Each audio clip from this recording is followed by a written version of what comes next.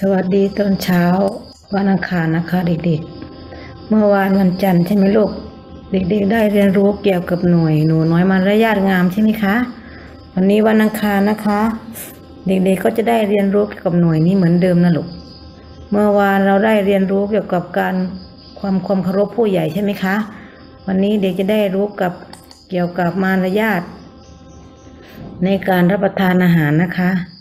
ทำไมรับประทานอาหารต้องมีมารยาทคะลูก เพราะว่า การรับประทานอาหารก็ต้องให้เรียบร้อย นั่งยังไง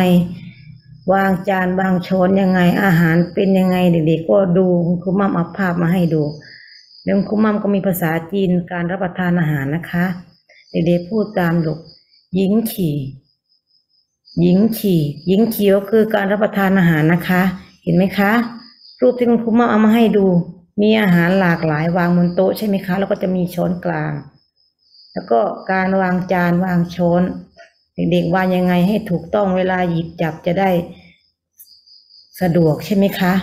อันนี้ก็คือตัวอย่างเอามาให้ดู แล้วก็มารยาทอีกอย่างหนึ่งก็คือ การรับประทานอาหารนั่นแหละลูก มารยาทที่ดีก็ต้องกินอาหารด้วยความระมัดระวังนะคะ ไม่กินอาหารมัวมามไม่เคี้ยว ต้องเคี้ยวอาหารให้ละเอียดก่อนกลืนใช่ไหมคะ และรับประทานอาหารจนหมดจาน และก็นำไปเก็บนะคะ อันนี้คือมารยาทในการรับประทานอาหาร เวลารับประทานอาหารคุยกันเบาๆค่ะ แต่ว่า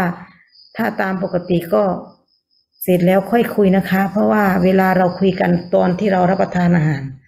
น้ำลายในปากเราจะกระเด็นหาเพื่อนใช่ไหมลูกเป็นใส่อาหารใช่ไหมคะ เวลาใช้ช้อนใช้จานใช้ชาม ก็ต้องใช้ของส่วนตัวเองนะคะ เพราะว่าจะมีในเตะเกะในอาหารจะมีช้อนกลางให้เราตักมาไว้ที่จานใช่ไหมลูก แล้วก็เมื่อเมื่อทานคุยกันได้ไหมคะเหมือนคุณมั่มเอามาให้ดู กินอาหารแบบนี้น่ารักไหมคะ น่ารักไหมคะเด็กๆ กินอาหารแบบนี้ไม่น่ารักนะคะ คนอื่นจะกล้ากินด้วยไหมคะ กินยัดไปเต็มปากแล้วก็เคี้ยวนะอะไรกระเด็นออกมาไม่รู้ใช่ไหมคะ อันนี้ก็ไอจามแล้วก็แบบไม่ปิดปาก ถึงจะหันหน้าหนีก็จริงแต่ว่าจำเป็นก็ต้องมีผ้าใช่ไหมลูกปิดปากใช่ไหมลูก เพราะว่าเราไอเราจามกับผู้อื่น เขาจะไม่ชอบแล้วก็รังเกียจเราเมื่อรับประทานร่วมกันใช่ไหมคะ มารยาทที่ดีก็คือต้อง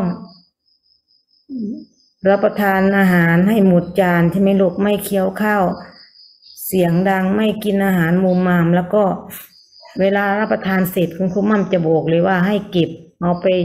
วางที่เดิมใช่ไหมคะ แล้วก็เพื่อล้าง เหมือนที่เราทำที่โรงเรียนใช่ไหมคะ อันนี้ก็คือเป็นเป็นมารยาทอย่างหนึ่งสำหรับในการรับประทานอาหารที่เด็กๆจะได้ความรู้ในวันนี้นะคะไหนใครเข้าใจและสามารถนำไปปฏิบัติได้บ้างคะ คุณครูมั่มก็รู้แหละว่าเด็กๆต้องทำได้ แต่ในสถานการณ์แบบนี้ เขาก็บอกว่าให้ทานอาหารเว้นระยะห่างใช่ไหมลูกไม่ให้ทานร่วมกันใช่ไหมคะเพราะว่าเจ้าเชื้อโรคโควิด -19 มันยังระบาดอยู่ใช่ไหมคะ